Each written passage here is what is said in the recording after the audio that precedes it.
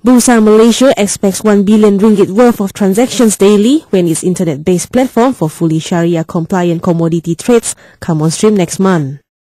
The platform, Commodity Murabahah House, facilitates liquidity management by enabling commodity players, including oil palm plantation companies, to utilize Islamic loan instruments in their trades.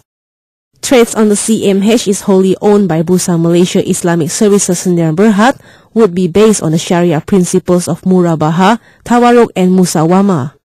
Bursa Malaysia CEO Datuk Yusli Mohamed Yusoff said initially CMH will only trade in crude palm oil CPO.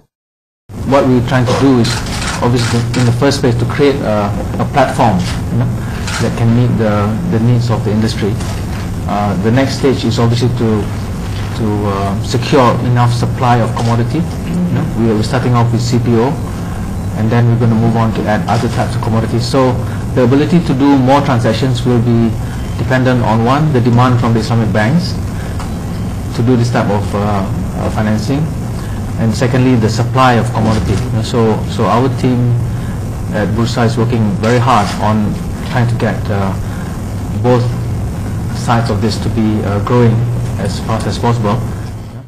Yusli said at present trades are denominated in ringgit but multi-currency trades would be allowed later.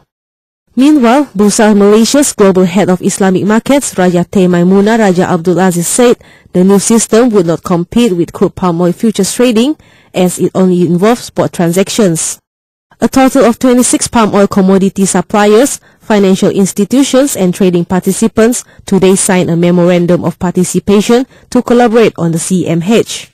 They include AmIslamic Bank Berhad, CIMB Islamic Bank Berhad, and HSBC Amanah Malaysia Berhad.